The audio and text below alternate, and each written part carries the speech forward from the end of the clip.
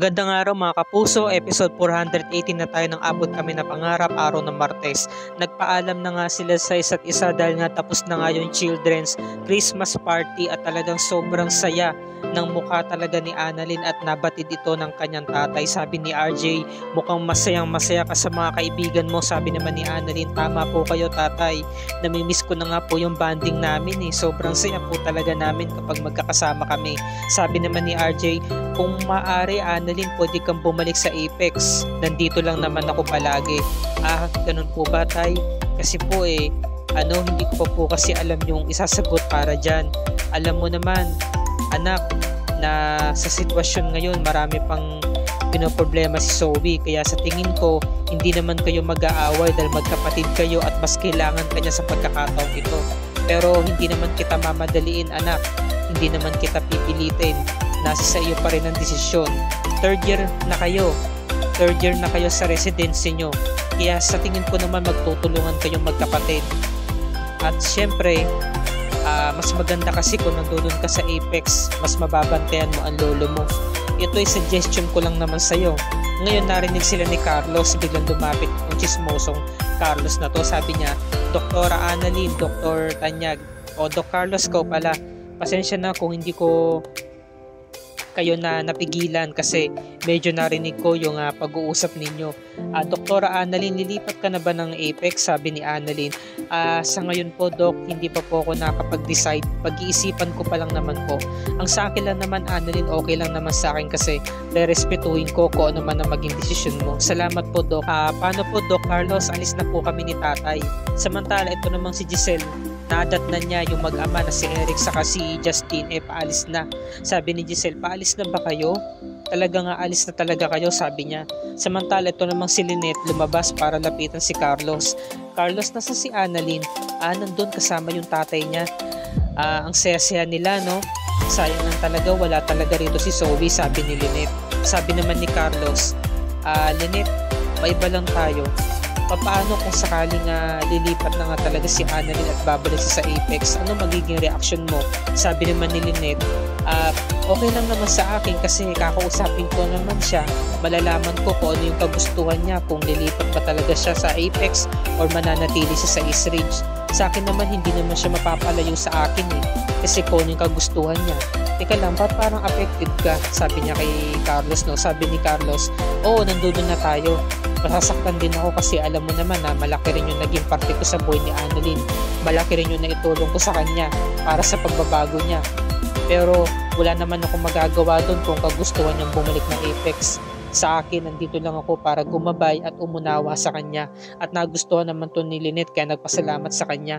Ngayon sabi naman ni Giselle, uh, Justin, kung maaari lang meron sana akong ibibigay sa'yo Kumuha siya ng pang-ipit sa buhok, inabot niya kay Justin at kinuha ito. Ngunit meron pa rin siyang request, sabi niya, Justin, pwede ba kitang mahagkan kahit saglit lang, kahit isang beses lang, bago man lang sana kayong umalis. Hindi na nga nakasagot si Justin at uh, nakayakap na nga tong si Giselle habang siya umiiyak at naramdaman ni Justin ang yakap ng isang ina mahigpit na yakap ang binigay ni Giselle. Pagkatapos, hawak-hawak ni Justin yung naregalo sa kanya ng nanay niya na pang-ipin sa buhok at iaangat na sana ni Justin yung kamay niya para yakapin na rin si Giselle. Ngunit nakita to ni Eric kaya inawat sabi ni Eric, uh, Justin tara na, umalis na tayo. Sabi naman ni ano, Giselle, talaga ba nga alis na ba talaga kayo? Sabi ni Eric, para saan pa? Wala na rin naman kaming dapat pang gawin dito sa Pinas. Sabi naman ni Justin, at meron pa akong interview sa application ko sa Amerika. Sabi naman ni Giselle, what about Apex? I mean Apex, pwede kita mabibigyan ng posisyon dito. Natrack ko naman yung records mo. Graduate ka ng Business Administration in Marketing at graduate ka pa ng cum laude. Kaya I'm sure na capable ka sa posisyon na ibibigay ko sa'yo. Ano, pwede mo bang tanggapin yung alok ko? Ngayon na, gusto ko lang malaman kung ano yung sasagot mo ngayon, please. Sabi naman ni Eric, no. Sabi ni Justin, yes. Magkaiba yung sagot nila. Sabi naman ni Giselle, tama ba yung narinig ko? Tumututol ka na mismo magulang niya samantalang si Justin, oo. Please Justin, ikumbinsi mo yung father mo na pumayag sa alok ko. Nandito lang naman ako Eric para bumawi sa kanya. Gusto ko lang naman tugunan yung mga pagkukulang ko sa kanya dahil pinagsisiyang ko yun matagal na. Oo, may pagkakamali ako pero gusto kong bumawi sa pagkakataong ito dahil ito yung paraan, paraan ko para makabawi sa kanya. Sabi ni Eric, para ano? Para kumbinsin siya na bumalik sa buhay mo matapos mo siyang iwan tapos hindi mo ipaalam sa akin na meron tayong anak ganito na lang yung gagawin mo tapos ngayon operan mo siya ng trabaho rito sa Pilipinas sabi naman ni Justin, tama na. Please wag na kayong mag-away. Para sa kabubuti ng lahat. Sabi no, sige na tatanggapin ko yung offer mo sa akin. Sabi ni Giselle, maraming salamat anak. Sabi ni Justin, please don't call me anak. Tawagin mo akong Justin. Sabi ni ano no, Giselle, pasensya ka na. Justin, umalis na nga tong si Eric at uh, sinundan ito ni ano Justin sabi niya dad akala ko ba matigas ang puso mo dyan sa mami mo. Pero bakit parang ngayon, lumalambot na yata? Napag-usapan na natin to, di ba, na hindi tayo mag stay dito sa Pilipinas. Alam ko, dad, na pag-usapan natin to. Pero alam mo naman, di ba, kaya ako pumayag kasi meron akong reason. Kailangan ko to, meron akong dahilan. Please, dad, unawain mo ko. Para lang to kay Lolo. Tatanggapin ko yung offer niya na trabaho dito sa Apex. Kasi meron akong kailangan gawin. So, parang nag-uusap yung kanilang isipan. Sinang-ayunan nito ni Eric na kung saan halata sa itsura niya na meron itong masamang balak.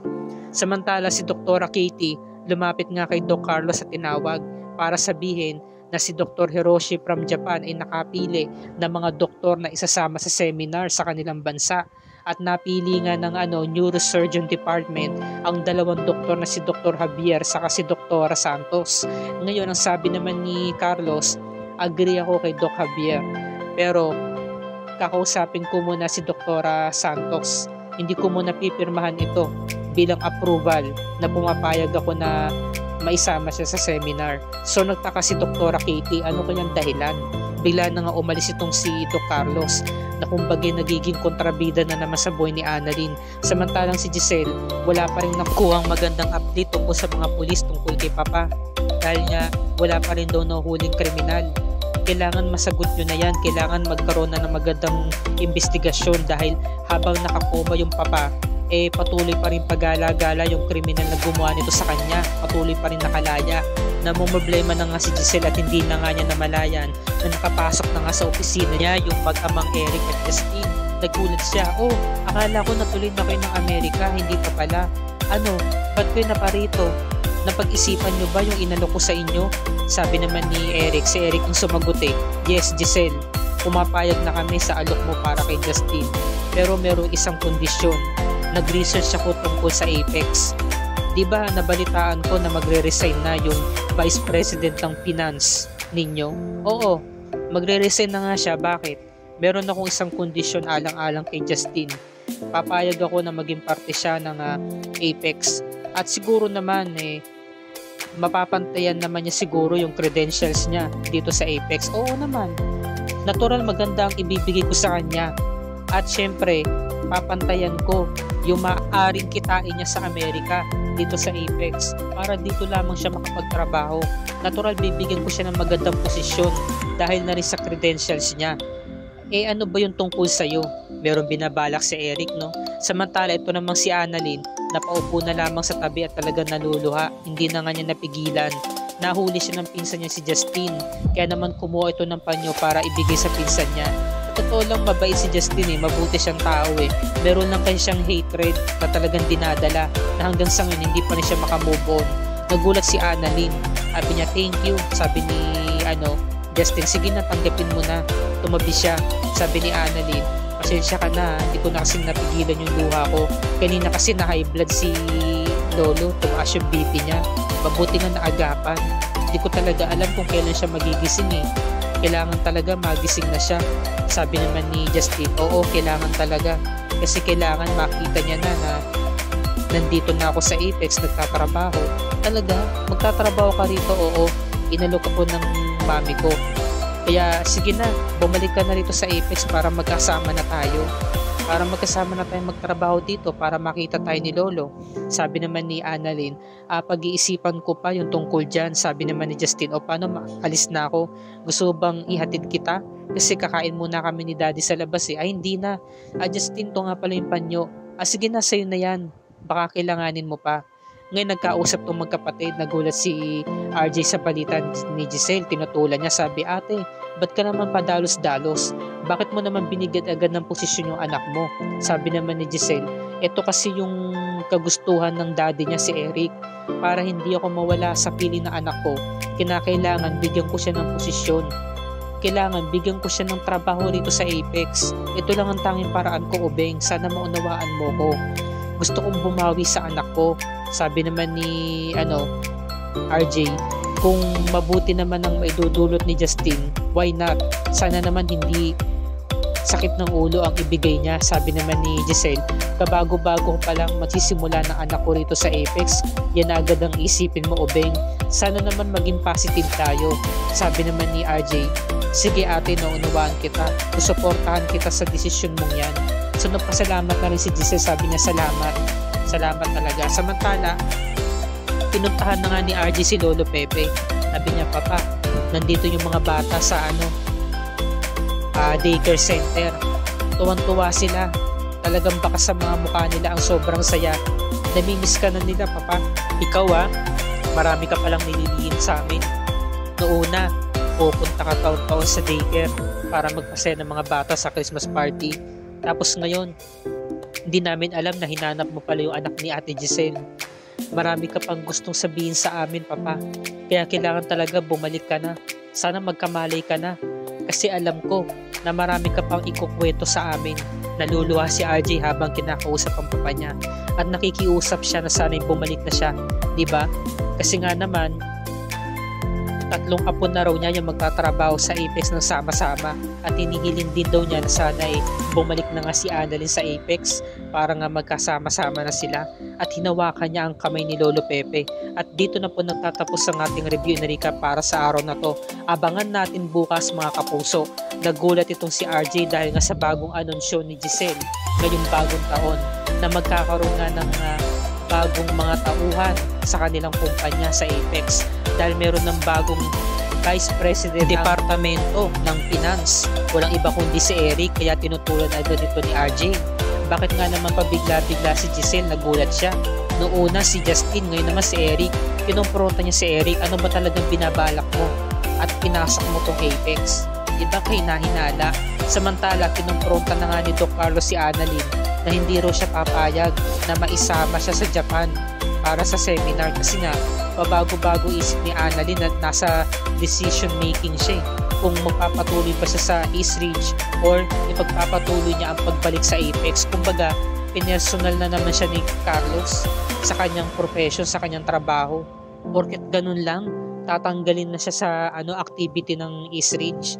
Kaya ito napapaisip na naman si Annalyn at naghihinanakit na naman. Ngayon, nandito na nga si Justin sa loob ng Apex at parte na nga siya ng kumpanyang ito. Ano kaya ang binabalak niya? Yan ang sabay-sabay nating nga alamin mga kapuso. Kaya wag natin palalagpasin ang mga kaganapan dito lamang sa abot kami ng pangarap. At kung bago ka pa lamang sa aking channel, kung maaari makahingi ko sa ng subscribe at i-click mo na rin ang bell icon para lagi ka updated sa mga episodes and other GMA shows tulad nito. Happy viewing mga kapuso, Happy New Year, maraming salamat po sa inyong panonood and God bless us all.